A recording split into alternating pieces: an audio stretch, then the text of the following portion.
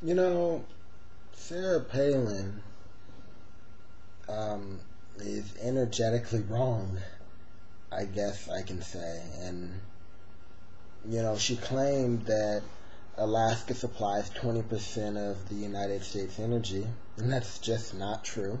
It's not even close, and it's a lie.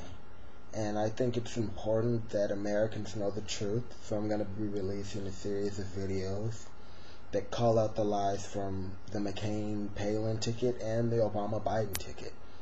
Uh, on to the energy. Uh, Palin claims that Alaska produces nearly 20% of the United States domestic supply of energy, and that's not true.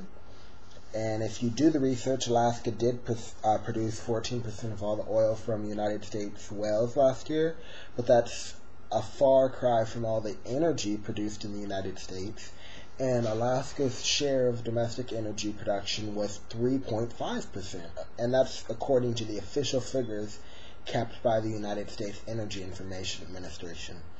And if by supply Palin meant all the energy consumed in the United States and not just produced here, then Alaska's production accounted for only 2.4%. So there you have it. Um, you know, it's one thing to lie about selling a plane on eBay or misleading viewers, but to just lie about a real issue, it's pretty sad. So, want to hear some comments? Um, you know, instead of just Palin supporters um, just bashing my comments or facts or whatever I'm saying for no reason.